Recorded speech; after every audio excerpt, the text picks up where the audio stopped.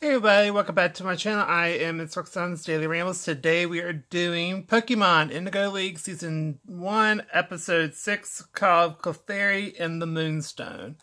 Start off with um, Zubat attacks um, a professor, so Ash and company help him out, and the guy is really extra when he when he thanked them, like really extra, and we find out that um, the guy's name is Sycamore, and people have been messing up on the cave lights. Like usually they're not supposed to be in there, and that's why the Zubat are active in the daytime because they're usually nocturnal animals.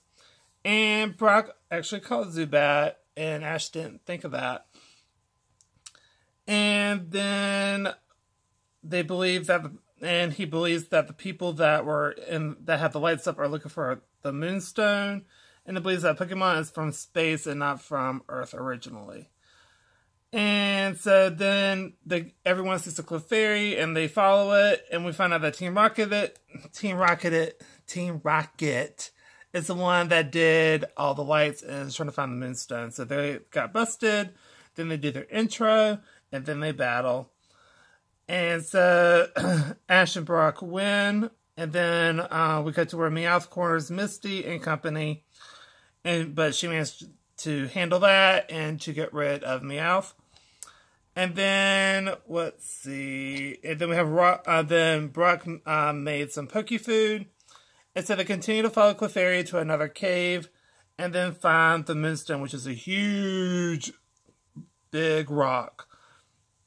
And then the Clefairy do a dance, and then Team Rocket shows up again, and they battle, and they actually stole this huge Moonstone. So basically, um, they stole it. Then we have Onix stops Team Rocket, and then we have the Clefairy use uh, Metronome to send uh, Team Rocket blasting off.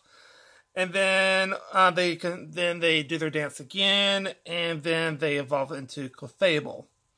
And then we have Sycamore in the gang. Um, Sycamore is going to live with them, and then they leave. And then there's a fork in road, and they go into Cerulean City, and then the gang uh, then uh, then Gary shows up and calls him a loser on the sign going to Cerulean City.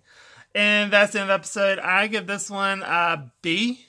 Uh, it's kind of like a filler episode, but you do get to learn about Clefairy, and because um, the Clefairy that was showing up had a rock in it, and apparently when you put all these rocks around the moonstone under a full moon at nighttime, um, it glows, and that's how they were able to like evolve and stuff. So that was really cool to watch, and I really enjoyed it. Uh, Sycamore was really extra, and the shadiness on Gary is crazy. so uh, that was really funny that he called him a loser on a sign on the way to Cerulean City. That's just crazy to me.